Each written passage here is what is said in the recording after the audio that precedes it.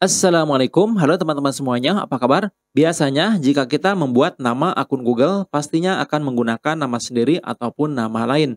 Dan jarang itu menggunakan nama dari nomor HP kita ya. Nah, di video kali ini saya akan share ke kalian semua yaitu cara membuat nama akun Google menggunakan nomor HP kita. Silahkan simak videonya dan buat kalian yang belum subscribe di channel ini silahkan untuk subscribe terlebih dahulu. Terima kasih. Oke, langsung saja untuk melakukan pembuatan akun Google sama seperti biasa ya. Bisa melalui aplikasi Chrome ataupun melalui pengaturan yang ada di HP. Ya, di sini saya melakukannya melalui menu pengaturan ya. Kemudian di sini kita scroll, lalu pilih akun dan pencadangan. Berikutnya pilih kelola akun. Kemudian scroll lagi dan tambah akun. Nah, di sini kita akan menambahkan akun baru di HP Android. Lalu di sini pilih Google. Oke, kemudian gunakan pola.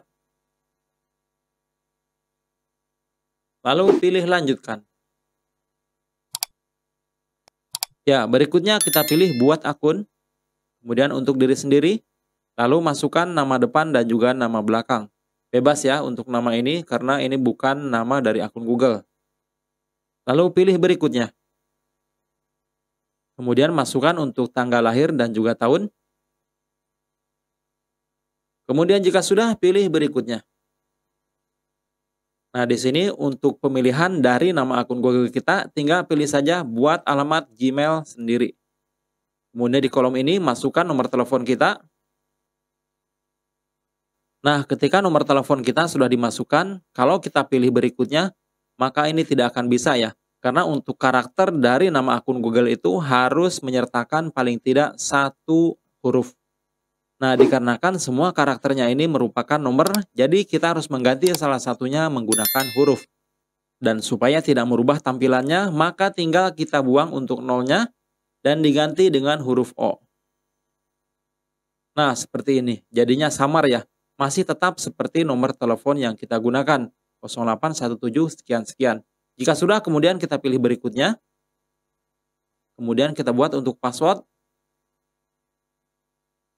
Setelah itu pilih berikutnya. Kemudian pilih lagi di sini, ya saya ikut. Oke, ini dia untuk alamat Gmail yang sudah saya buat. Dan untuk namanya ini merupakan nomor HP yang saya miliki. Keren sekali ya. Jadi nggak kayak biasanya menggunakan nama sendiri. Lalu pilih berikutnya. Dan langkah terakhir, pilih lagi saya setuju. Oke, sudah selesai dan untuk akun Google dengan nama dari nomor telepon kita sudah dibuat. Terima kasih banyak sudah menonton dan jangan lupa untuk subscribe, like, komen, dan membagikan video ini di media sosial. Wassalamualaikum warahmatullahi wabarakatuh.